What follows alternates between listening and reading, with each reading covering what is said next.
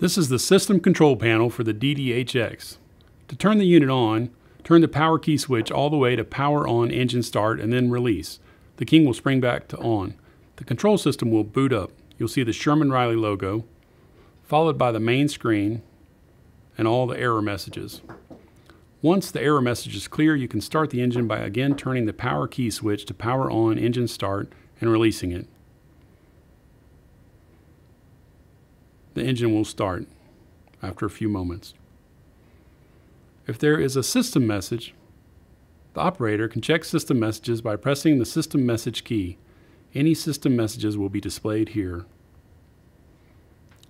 Press back to return to the main screen. The operator can check the status of the engine functions by pressing the engine status key.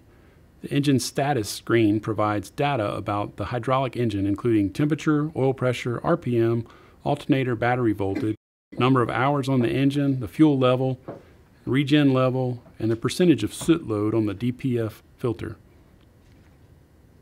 Error codes can also be reviewed by pressing Error Codes button. Press back to return to the main screen. By pressing the Setup button, the operator can access five other screens or functions. The first option highlighted with the yellow box is the engine hydraulic information, which will take you to the engine hydraulic information screen.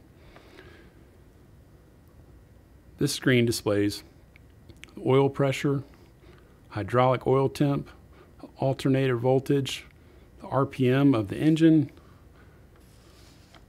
the real speed, the number of hours on the engine, water temperature, and hydraulic pressure.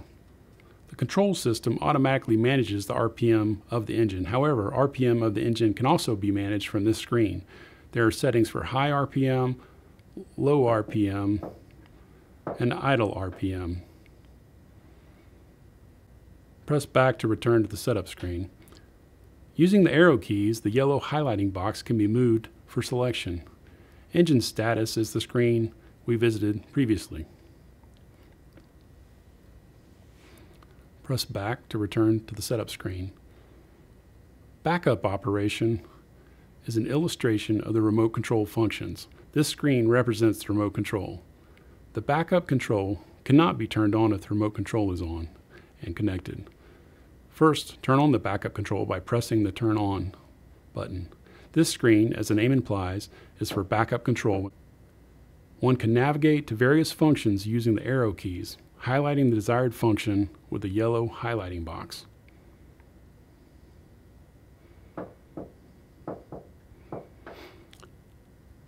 Once you highlight a function, press the Select Enter to operate that function. In this example, we will extend the boom out and retract the boom back in. Press and hold the Select Enter button and it will extend that function. Move the yellow highlighting box to boom in, press and hold the select enter, and it will retract the boom. That is the backup control unit. You can also raise and lower tension from this screen with the raise and lower tension buttons. When done, you can turn off the backup control. The I.O. check is the input-output check for electrical, electrical actuators. Changes to inputs and outputs are password protected. The next option is data record setup for data logging.